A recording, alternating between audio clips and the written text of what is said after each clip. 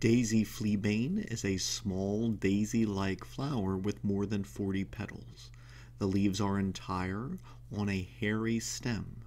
This plant blooms in summer in field habitats, and its name originates from an older use of including this plant in bedding in the hopes that it would make fleas less common.